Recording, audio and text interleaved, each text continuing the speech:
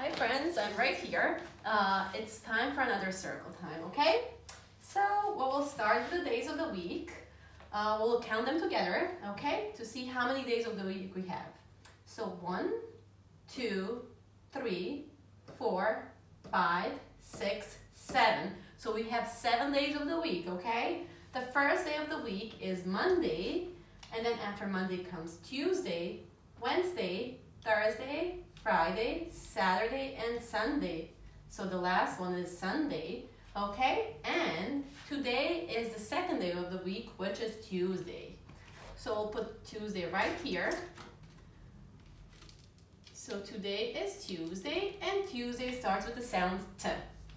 So yesterday, the day before Tuesday is Monday. So yesterday was Monday, and Monday starts with the sound M. And tomorrow is, so the day after Tuesday is Wednesday. And we'll put Wednesday right here. And Wednesday starts the sound W.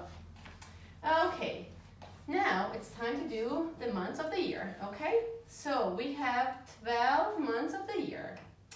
The first one is January, the last one is December we know it's the third month of the year. So first, second, third, which is March. So we'll put March right here. And March starts with the sound M. The year is 2020. So we'll put 2020 right here. And it's the year of the rat.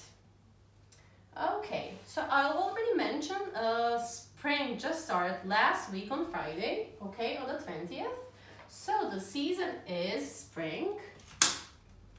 So I'll put spring right here. And the weather is, it's still cloudy and cold. So I will just put cloudy and cold. And both of these start with the sound k, but this is the curly k, okay? So if we do the calendar, I will cross out the 23rd and I will circle the next number, which is 24. So today is the 24th of March 2020 and I will put 24 here for the date. Okay, so I hope you enjoyed this video and I will see you again next week, okay? Thank you.